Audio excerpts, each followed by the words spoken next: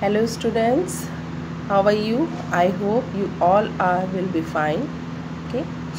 Now today i revise you the previous chapter because you, uh, you completed your chapter 2 okay. So this time is your revise. Okay. Uh, chapter 2 how computer works. I told you that you will learn that com components of CPU, working of a computer, the rear panel, block diagram of computers. Okay?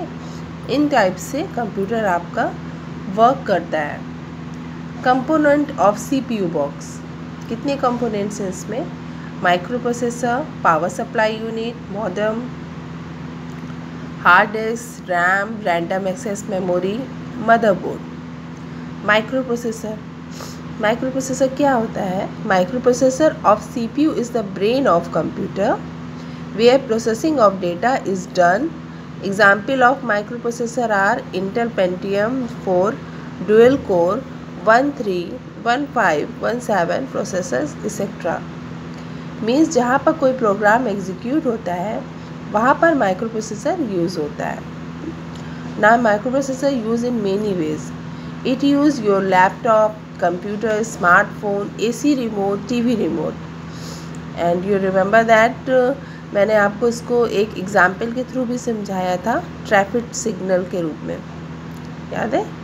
Okay micro processor is an electronic chip that function as a central processing unit of a computer the world micro processor comes from the combination of micro and processor now your second uh, topic is power supply unit power supply unit क्या होता है it is a hardware that is used to convert the power provided from the outlet into usable power for the many parts inside the computer means जब हम एक नया PC लेते हैं तो हमको एक पावर सप्लाई की ज़रूरत होती है कंप्यूटर में बहुत सारे यूनिट्स होते हैं like CPU hard disk RAM, motherboard, इन सबको रन करने के लिए पीएसयू की ज़रूरत होती है, okay? But important thing is आप अगर बैड क्वालिटी का पीसी यूज़ करेंगे तो it is useful for your computer क्यों?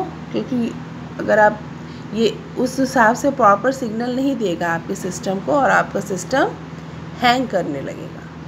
Got it now your next is modern yes very important uh, part modem modem is a device that convert computer digital data into analog data which can travel through telephone lines it is used to connect the computer to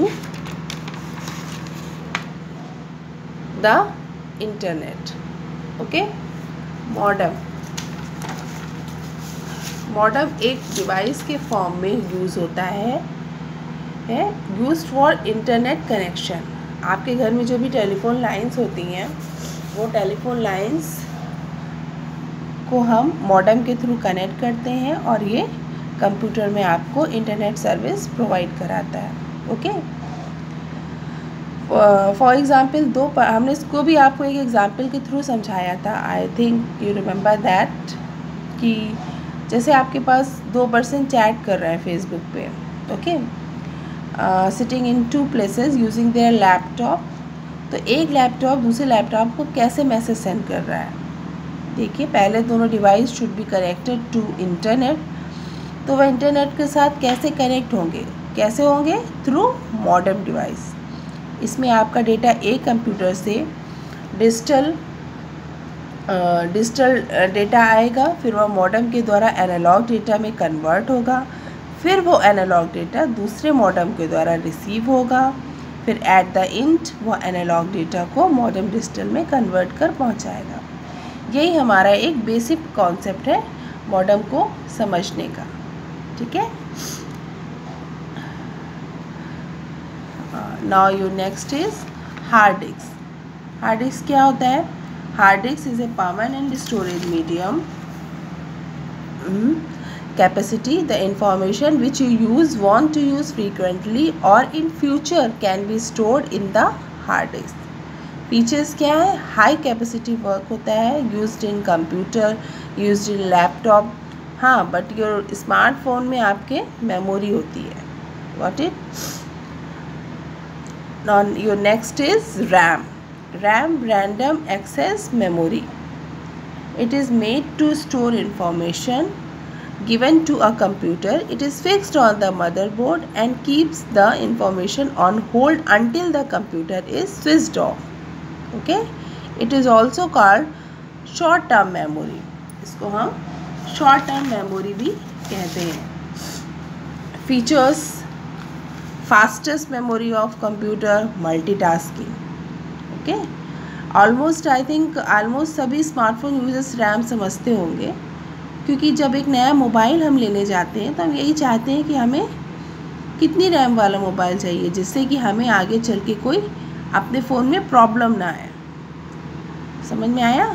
RAM is very important in computer, laptop and smartphone.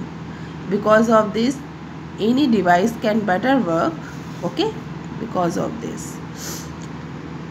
now your next is motherboard motherboard motherboard is the main electronic circuit board on which all the components and parts of a computer are fixed or connected computer में सभी parts एक दूसरे के पूरक हैं एक भी part missing होगा तो कंप्यूटर रन नहीं करेगा चाहे वो कीबोर्ड हो सीपीयू हो या बैटरी हो सभी मिलकर ही कंप्यूटर को रन कराते हैं मदरबोर्ड कंप्यूटर या लैपटॉप के अंदर लगा हुआ एक ऐसा सर्किट बोर्ड होता है जिसे कंप्यूटर का हर पार्ट जुड़ा होता है यानी CPU, RAM DVD writer hard drive processor mouse keyboard ये सभी कंप्यूटर पार्ट्स मदरबोर्ड से ही कनेक्टेड होते हैं। इनको पीसीबी यानी प्रिंटेड सर्किट बोर्ड भी कहते हैं। Now your next is working of a computer computer कैसे वर्क करता है? किस तरह वर्क करता है? मैंने बहुत अच्छे से इसको आप लोगों को समझाया था। So again I reverse you okay you have learn in previous class that computer work in three step first is input input is given through an output device like keyboard processing processing is done in a system unit card CPU. Output output is provided by the computer using an output device like monitor. Okay. Input taking input through input device like keyboard mouse and and uh, storing in a memory process the execution of data and instruction in ALU okay there are three components of CPU or processing device. First is control unit, second is arithmetic and logic unit and third is memory unit. Control unit short form इसका CU होता है arithmetic and logic unit इसका ALU होता है and memory unit का short form MU होता है ठीक है जैसे आप एक मोबाइल चलाते हैं तो वह भी तो एक तरह का कंप्यूटर होता है होता है ना? और कभी आपने सोचा है कि ये कंप्यूटर है, इसको ना तो हिंदी आती है, ना तो इंग्लिश आती है? तो फिर ये कैसे वर्क करता है? कंप्यूटर कैसे वर्क करता है? कंप्यूटर ज़ीरो वन की लैंग्वेज को समझता है। ज़ीरो वन की language means binary number okay I will describe through this program through diagram first input input के थ्रू आपके सीपीयू में इंस्ट्रक्शन जाती है। सीपीयू इनको एएलयू में कन्वर्ट करता है और सीयू में और फिर ये मेन मेमोरी में स्टोर होते हैं। फिर ये आपको आउटपुट देता है। ठीक है? तो कंपोनेंट कंपोनेंट्स ऑफ़ सीपीयू कौन कौन से हमारे? Main control unit ALU and C now today is your finished your chapter second and I revise you again. So next day we'll start your chapter third. Okay. Thank you students.